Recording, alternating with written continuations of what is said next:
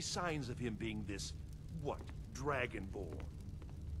No nonsense. Why, you puffed up ignorant. These are our sacred traditions that go back to the founding of the First Empire. Hrongar, don't be so hard on Avenicci. I meant no disrespect,